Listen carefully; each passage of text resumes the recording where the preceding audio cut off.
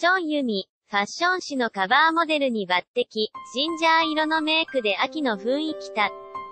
プリ写真イコール、シングルス、女優チョンユミがファッションマガジンの表紙を飾った。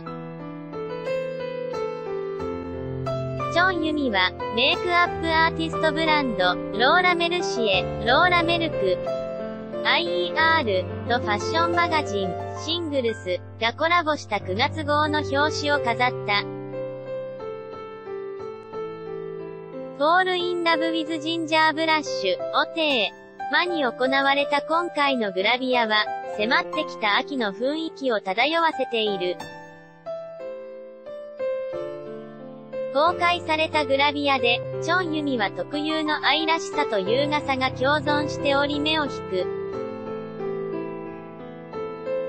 アイボリーのワンピースとブラウンの T シャツ、アップスタイルのヘアとナチュラルなヘアまで完璧にこなした。頬をジンジャー色に染めたチョンユミは、時には若々しい少女のように、時には成熟した大人の女性の魅力まで存分に表現した。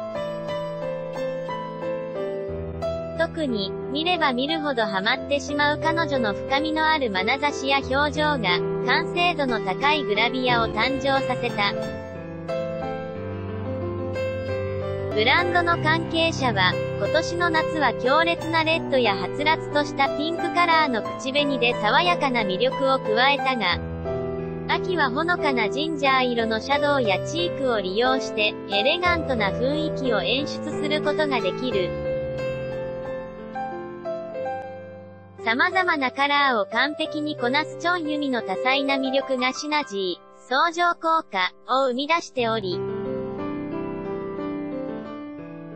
SNS 上では早くも関心が高まっている、とし、ミューズのチョンユミに対する強い信頼を表した。